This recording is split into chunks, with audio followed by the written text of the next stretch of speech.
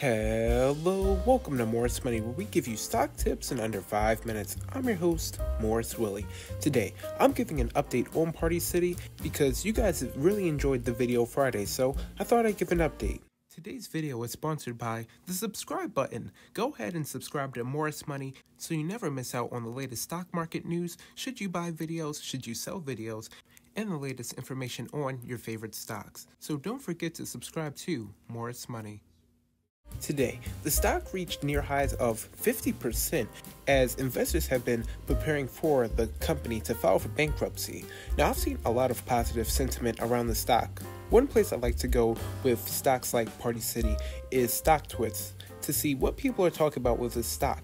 And market volume has been up 50% for the company and sentiment up 1%. So, both positive indicators for the company. While there's no official filing yet for bankruptcy, it's pretty much certain. According to inside sources, Party City wants to negotiate new terms with bondholders to retire old debt and clear the way for future operations. As I said in Friday's video, the insiders say that Party City has brought in AlixPartners, again, apologize if I'm butchering that name, as a restructuring advisor. This, alongside the debt negotiations, point towards the company likely using a bankruptcy filing to renegotiate its business before coming out of bankruptcy.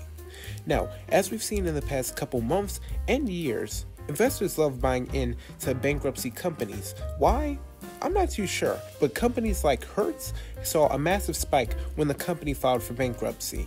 So, the same type of investor sentiment with buying into bankrupt companies is probably what's happening with Party City. If so, it's possible the company's shares could see greater gains ahead after the bankruptcy filing officially. However, that could also be followed up by a massive drop if investors decide to dump the stock. Another crazy thing I saw today volume for the stock was 52 million.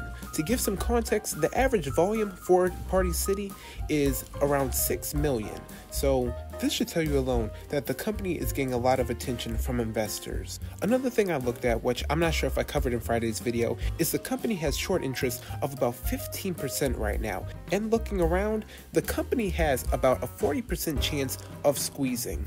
Potential squeeze targets are around $1 and Wall Street currently has a price target on the stock at $2. So who knows what will happen. I just wanted to give an update on how the stock is doing because again, you guys seem to love the video Friday, so might as well make a follow up to it today. Let me know your thoughts on Party City below.